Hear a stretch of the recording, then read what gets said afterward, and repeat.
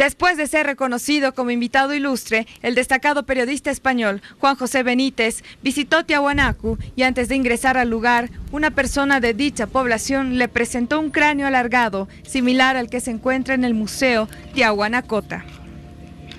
Sí tiene, sí tiene las suturas, ¿eh? Tiene cráneo deformado y suturas. ¿Ves las suturas? Aquí y aquí. ¿Le, han hecho algún análisis de carbono 14? No, no, nada. ¿De ADN tampoco? Tampoco, nada. Porque no vienen los arqueólogos, aquí tengo un amigo nomás que viene Claro.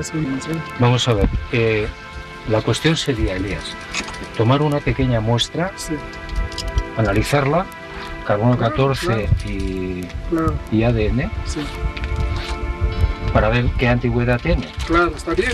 Lo más lógico es que los molares, fíjate que están alisados. Están alisados. ¿Has visto? ¿Has visto? ¿Y eso qué, qué significa? Eso masticar? significa que tiene una alimentación muy fuerte, muy dura, tipo pan, O tipo carne algo abrasivo. Sí, ya está. Perfecto.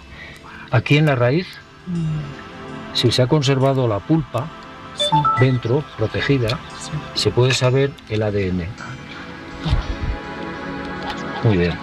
Hacía 15 años que no venía, me- mm, creo recordar. Está todo muy cambiado, está fantástico, mm, queda muchísimo por hacer, ¿no? Veo que no hay prácticamente gente excavando y que, y que bueno, me decían Antonio y Manuel que, que falta el 90-80% de, por excavar. Pero vamos, muy, muy interesante, muy emocionante. Hay que estudiar esto a fondo. Por ejemplo, los cráneos deformados sí son comunes, ¿no? están eh, en muchas partes de América. eh, eh, ahí hay que buscar una teoría, bueno, es una teoría, ¿no?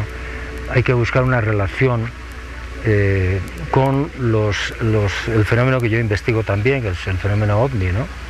Los tripulantes que se han visto con grandes cráneos, cráneos apepinados, eh, hay bastantes casos, son probablemente el origen de los cráneos deformados que encontramos en Bolivia, en Perú, en, en Centroamérica, Guatemala, etcétera. Es decir, alguien vio a esos seres, alguien vio a esos seres, los, tomó, los tomaron por dioses y- e intentaron copiarlo. Por eso deformaban los cráneos con tablillas, etcétera. Y bueno, pues es una de las, otro de los enigmas de, de Tiahuanaco.